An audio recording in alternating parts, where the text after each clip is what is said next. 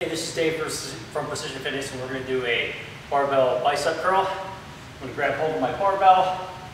I'm going to walk back, got my hands shoulder width distance apart, and we really want you to make sure that you got your pinkies into the bar. A lot of people don't get a full grip of the bar.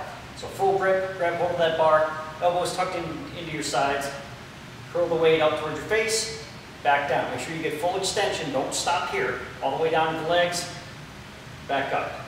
Nice and controlled. Try not to swing the bar and get your back involved. It's a great way to get a back injury. Keep the abs braced the whole time.